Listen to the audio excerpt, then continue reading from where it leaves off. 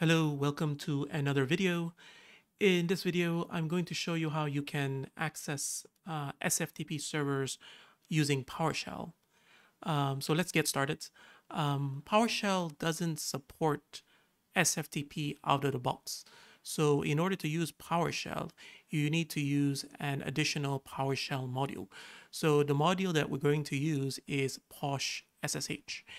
And the way to install it is by using this command that you have uh, that you can see here on the website. Uh, however, um, the stable version of this module doesn't support Linux yet. So in order to get Linux support, you need to install 3.0, uh, version 3.0 of this library, uh, which unfortunately at the time I'm doing this video uh, is not yet a stable release. So in order to um, install the, uh, in order to use it, uh, when we run install module, we need to specify allow pre-release. So let's do that right now. Uh, let's start PowerShell and let's install the module.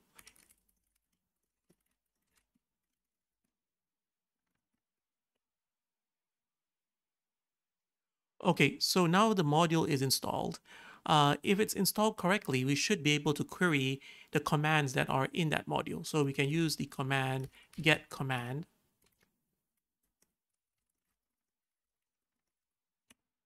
So these are all the uh, methods and operations provided by the um, POSH SSH PowerShell module. So, so in this video, we're going to be concerned with the commandlets and the functions that uh, operate on the following nouns. So those nouns would be those nouns would be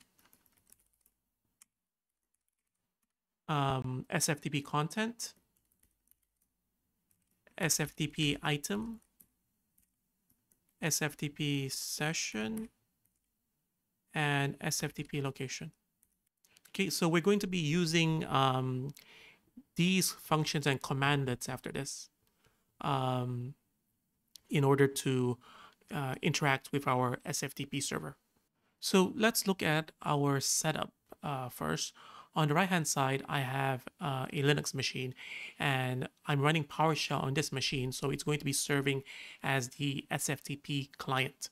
On the left hand side here, I have a Windows machine and this Windows machine uh, is running the OpenSSH SFTP server and it is exposing this directory uh, to SFTP clients, which is C drive incoming.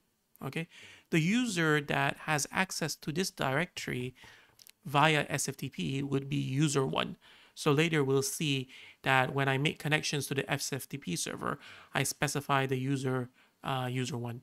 Okay, so let's now try to connect to the SFTP server. The function that we use in this case, or the commandlet, is new SFTP session. So let's do session is equal to new SFTP session. And the IP address of our SFTP server is 192.168.50.20. And let's connect using the username and password credentials. So let's do credential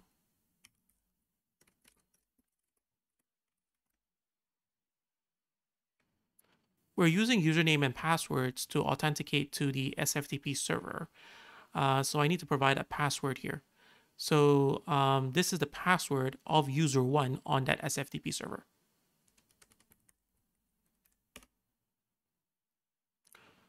Now, if I were to print out session, I should see that it's connected. So let's try to, just to verify that it's connected properly, let's try to list uh, the contents of the current directory.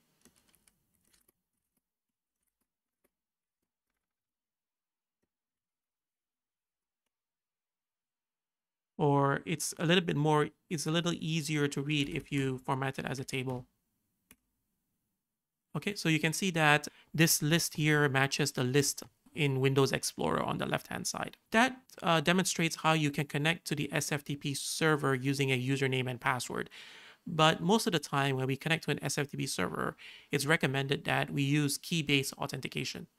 So let's uh, now try to connect to the SFTP server using a, an SSH key pair. So I've already created an SSH, SSH key pair here. This one here, alice and alice.pub.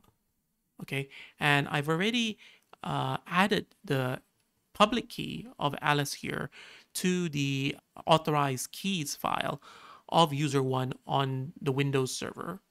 So I should be able to connect to the SFTP server using Alice's private key. So let's try to do that using PowerShell.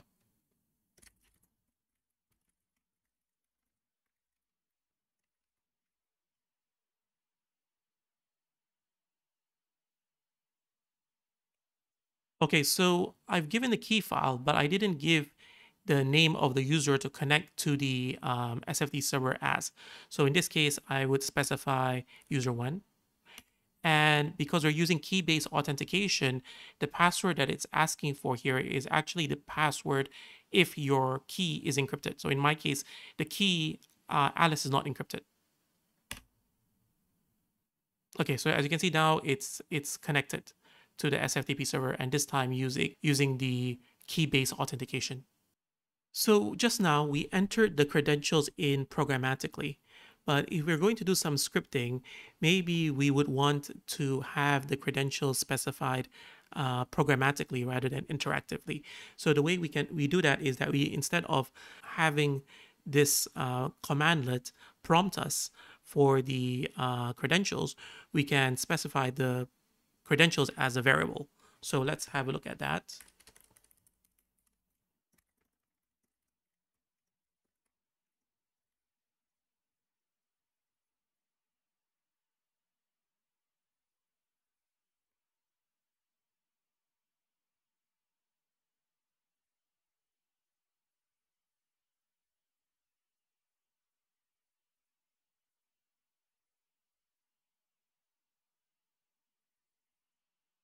Okay, so now that I've specified the credential as a variable, it will not prompt me to specify the credentials um, interactively.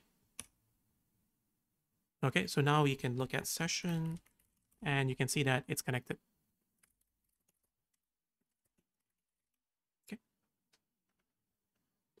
Okay, so now that we've established the connection to the SFTP server, let us try to enter one of these subdirectories. So the subdirectory that we're going to attempt to enter is this files to process directory. So the way we do that is by doing, uh, by using the command uh, set SFTP location.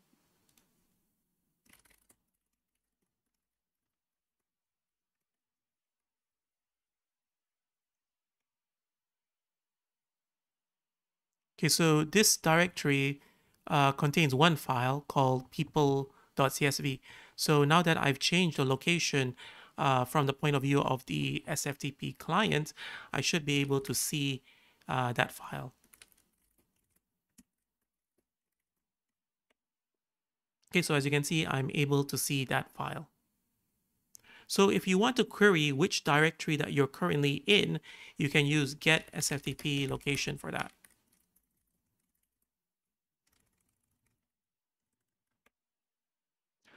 So now let's try to download this file people.csv. So the command to use to, to do that is called get SFTP item. So get SFTP item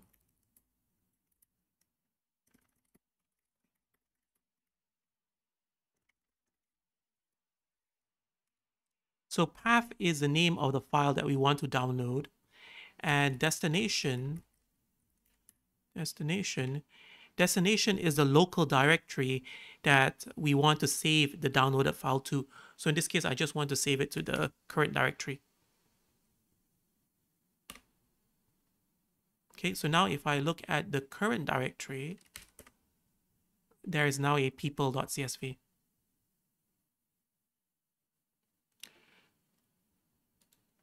So we use get SFTP item to download a file. To upload a file, we use the command set SFTP item. In my local directory here, I have a data.txt um, file, and I want to upload this file to the files to process directory on the SFTP server. So let's do that by using the set SFTP item command.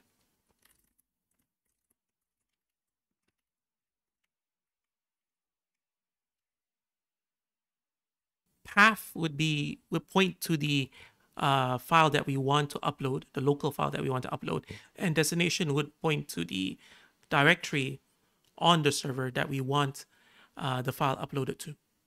As you can see, the data.txt now appears uh, on the server. So you can also um, you can also download the contents of the file directly to a variable.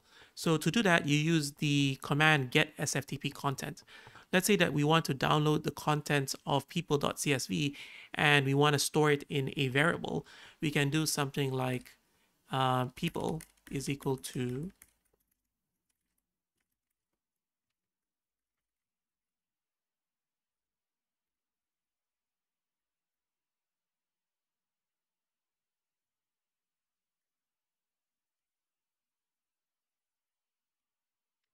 For the get SFTP content, you need to specify the full path because uh, I don't know why, but it doesn't uh, take into consideration the current directory. So you need to specify the full path. So now if I were to look at people, I would see the contents of uh, the people.csv file. All right, and if you want, you can also convert that to a uh, to a, a, nice looking table by doing uh, convert from CSV and you can convert that to a nice looking table, right? Now you can also upload um, this way as well. So let's say that we have, um, let's say we have a variable and the contents, variable name contents, and let's say that inside there we have the data bob123. So let's say that we want to upload this um, to the server into this directory, and we want to give it a file name bob.txt. So let's do set sftp content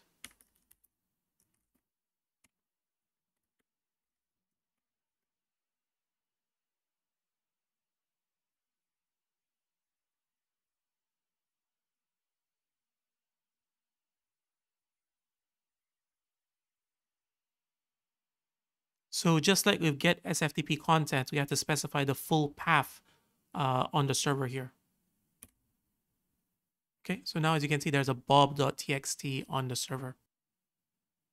So let's say that we want to rename bob.txt to uh, a different file name. So the way we do that is using the command rename SFTP file.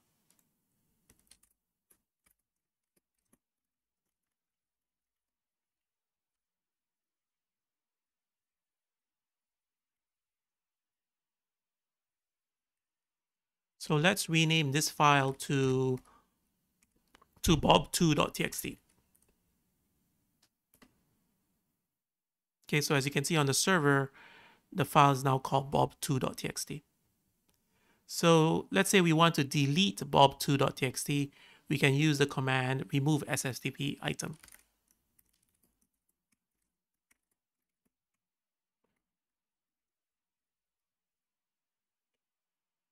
And now the file bob2txt no longer exists on the server. And finally, once we're done accessing the SFTP server, we can close the connection by doing remove SFTP session session.